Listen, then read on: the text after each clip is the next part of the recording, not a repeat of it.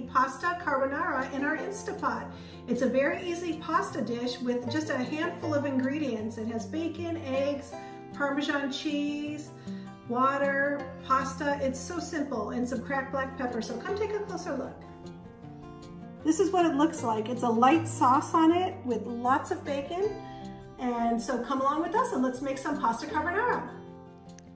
Let's take a look at the ingredients needed for this recipe.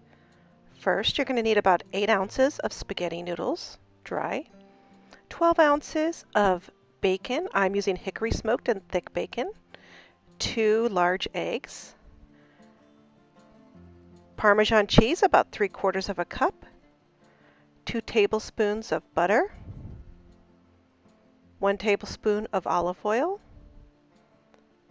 about a quarter teaspoon of cracked black pepper, and four and a half cups of water. Let's begin. The first step in this recipe is to take your pasta, break it in half, and lay it crisscross over the bottom of your Instapot pan. This, this is going to help prevent any sticking of the pasta when it cooks. You're now going to pour in your four and a half cups of water.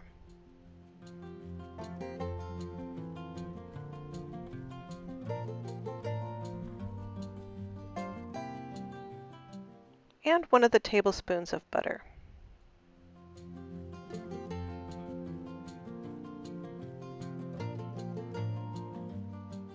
Now we put on the lid. Ensure the vent is set to sealing. And we're going to turn on the pressure cooker on high by hitting manual pressure Bring down the minutes to 7 minutes. If you like your pasta a little more al dente, cook it for 6 minutes. Now we take the Parmesan cheese, pour it into a small mixing bowl, add in our two fresh large eggs, and we're going to mix this together.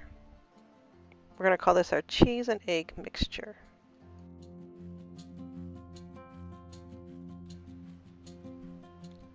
Once it's mixed well, put it aside. Time to cut up the bacon. I have a 24 ounce pack here, so I'm going to go ahead and cut it in half and only use half of it. Now I'm going to take the bacon and cut it crosswise to make little pieces that we're going to end up sauteing in the Instapot. The bacon in this recipe is going to be one of the boldest flavors in this pasta dish. Once the timer's done, press cancel, wait about a minute, then switch the valve to venting. We're going to do a quick release to release the rest of the pressure. Once the pin drops, carefully remove the lid away from your face to ensure the steam does not burn you. Now I'm going to get a measuring cup and remove about a cup of the pasta water and save it for later.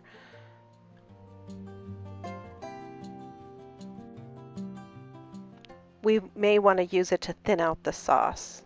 So now I'm going to carefully remove my liner from my Instapot and drain my pasta thoroughly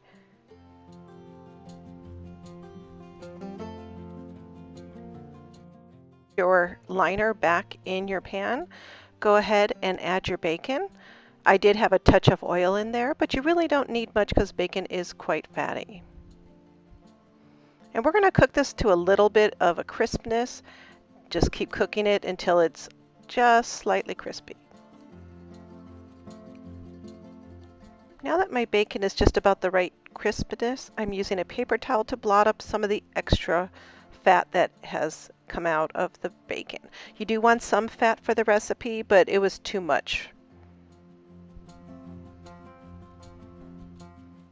Once the bacon is done, we're going to hit cancel, turn off the Instapot, and put it on a heat-proof surface, and we're going to finish up the recipe. So we're going to pour in our pasta and coat it evenly with all the bacon and bacon drippings that are in there.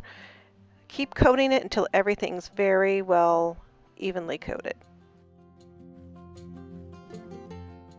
Now it's time to add in the egg cheese mixture.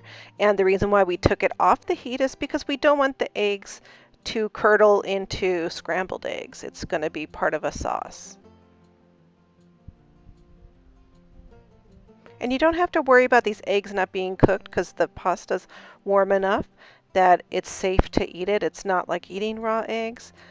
So keep that in mind. Now I've added some cracked black pepper. And if you want to add more Parmesan cheese this time, you can. To me, there was just the right amount for me, but there we have it. Pasta carbonara in the Instapot. If you enjoyed this recipe, please give my video a thumbs up and comment down below. If you would like to see more of my videos, please hit the subscribe button and turn on your notification bell to be informed when the next video is available. Thank you for watching and see you next time. Bye-bye.